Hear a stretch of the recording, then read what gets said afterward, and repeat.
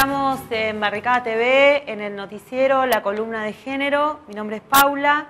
Ya nos estuvimos presentando hace un par de semanas, pero bueno, hoy arrancamos con un informe que hicimos sobre eh, esta modificación que se presentó hace una semana atrás en el Congreso de la Nación, en la Cámara de, Diputados más precisamente, eh, el, el proyecto de modificación del Código Penal en el artículo 80 que habla de endurecer las penas a, los crímenes de género. Estrictamente hablando, digamos, es a los asesinatos a mujeres por sus cónyuges o por excónyuges o por personas que tengan alrededor, digamos, directamente hablando del género masculino, pero también a familiares o también a crímenes de odio, lo que se dice a los asesinatos por eh, eh, odio racial, homosexualidad, etc. Esta modificación es puntualmente en los incisos 1 y 4, en los que se busca agravar el, asesinato cuando hay un vínculo entre el homicida y la víctima. Eh, nosotros tuvimos eh, una entrevista con Fabiana Túñez, que es de la Casa del Encuentro, que son los únicos que tienen cifras acerca de los asesinatos de género que se cometieron en los últimos años. En este caso no hay ni cifras oficiales ni políticas preventivas antes de llegar al asesinato, digamos, porque el asesinato es una consecuencia de la violencia de género, que es un mal social,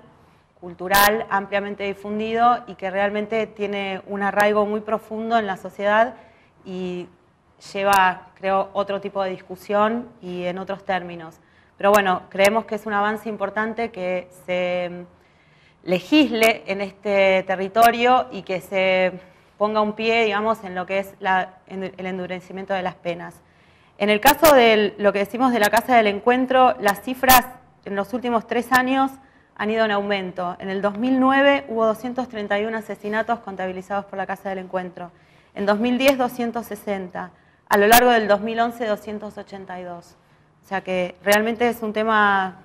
serio, importante, y vamos a escuchar lo que dice Fabiana Túñez, que es la directora de la Casa del Encuentro.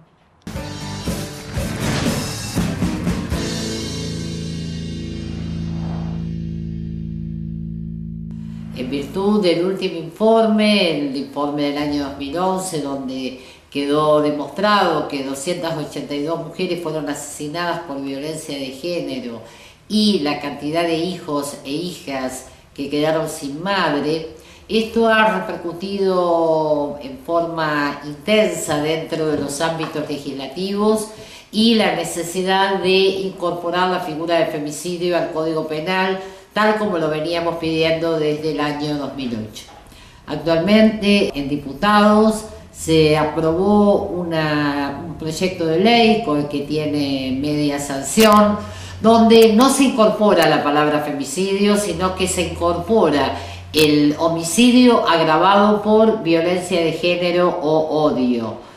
La realidad es que para nosotras ha sido importante que, se, se haya dado este debate en la Cámara de Diputados, sin embargo, seguimos insistiendo que la figura de femicidio tiene que estar incorporada como una figura autónoma para que no quede en manos de los jueces la posibilidad de aplicar el agravante. La realidad es que la experiencia que tenemos en la asistencia a las familias que han sido víctimas de femicidios, vemos claramente cómo la ideología patriarcal y machista de la justicia hace que en el caso del asesinato de una mujer se busque la manera de aplicar más los atenuantes que los agravantes. La incorporación de la figura de femicidio obviamente que no va a terminar con la, con la muerte de mujeres por violencia de género. Lo que sí consideramos es que tiene que existir esta ley, pero también tiene que existir una serie de, de cuestiones que tienen que ver con el cumplimiento de la actual ley de violencia,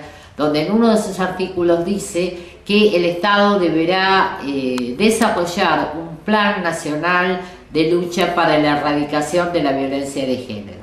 razón por la cual consideramos indispensable que este plan se pueda llevar a la práctica con un presupuesto acorde y con la participación de todos los sectores, incluidos la sociedad civil, porque para poder eh, erradicar la violencia tenemos que profundizar la información, la sensibilización, la asistencia directa y también una modificación educativa, cultural, porque la raíz de la violencia de género es una raíz que tiene que ver con lo cultural y que define el lugar de la mujer como si fuera una cosa, un objeto de pertenencia a un otro.